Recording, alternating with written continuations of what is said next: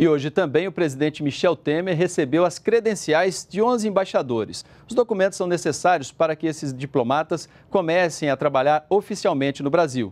Depois da cerimônia, Temer falou com a imprensa no Palácio do Planalto. E quem tem as informações ao vivo é o repórter Paulo La Sálvia. Boa noite, Paulo. É o que o presidente Michel Temer falou desses cerca de 40 dias à frente do governo.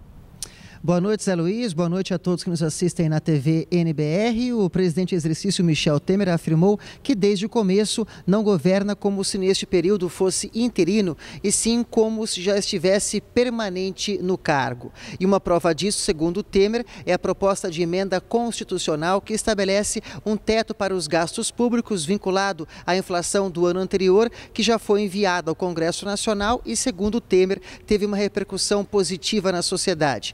Além da renegociação da dívida dos estados com a União, acordo firmado nesta semana aqui em Brasília, depois que a discussão se arrastou por mais de seis anos no país. O presidente em exercício, Michel Temer, afirmou que o que a população não quer é a paralisação do governo. Temer também falou sobre a Operação Lava Jato.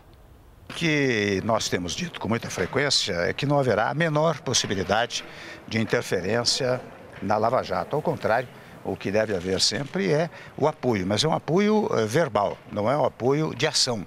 Porque se eu produzir um apoio de ação, ou seja, colocar o executivo uh, uh, trabalhando nessa matéria, estaria invadindo uma competência que, na verdade, é do Judiciário de um lado, do Ministério Público de outro lado, com apoio da Polícia Federal. Então, pelo princípio da separação de atividades governamentais, o Executivo não deve participar dessa matéria.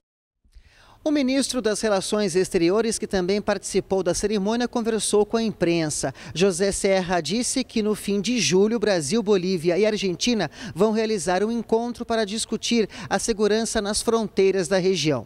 O ministro das Relações Exteriores também adiantou que o Brasil vai oferecer uma ajuda à Venezuela.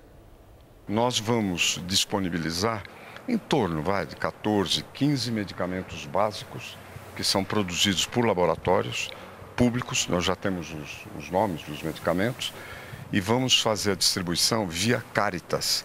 A Caritas, que é uma entidade da Igreja Católica em escala internacional, tem 40 pontos de distribuição na Venezuela. E eu espero que, na oportunidade, o governo venezuelano facilite essa entrega.